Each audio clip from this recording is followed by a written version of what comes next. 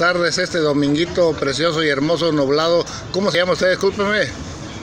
Lady Karina, Lady Karina, ¿de qué parte de la República Americana, Mexicana o salvadoreña es? de Guadalajara, ¿O es mexicana? mexicana. Oiga, en Guadalajara este también usan el, el uniforme de los Estados Unidos.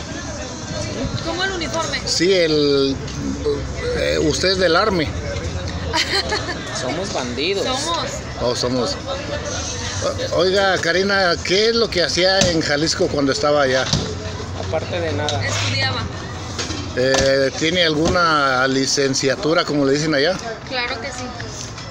Eh, Podríamos saber, a ver si es eh, contadora o es eh, abogada. Administradora, contadora, de abogada, de todo. Cocinera, de todo. Oh, entonces tiene muy buena.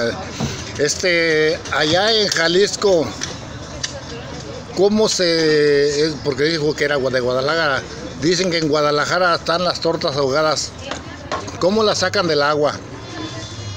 No, no la sacan.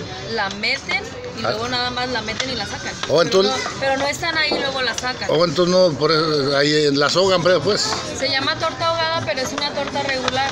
Le ponen sus frijolitos, carnita de puerco y luego la torta la, la sostienen con unas pinzas, la meten en la salsa y ya la sacan.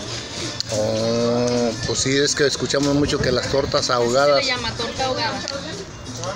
Este, ¿qué tan lejos está el mar ahí de Jalisco, de Guadalajara? El más cerca, yo pienso que como tres horas y media, Manzanillo. Manzanillo, Michoacán, ah, Colima. Juli. Ah, qué bien, qué bien, qué bien. Pero mire.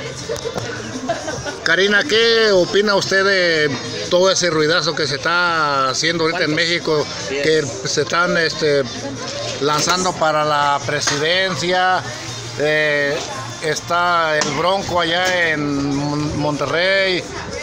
Está el este López Obrador en otro lugar y luego el otro que puso el otro partido del PRI.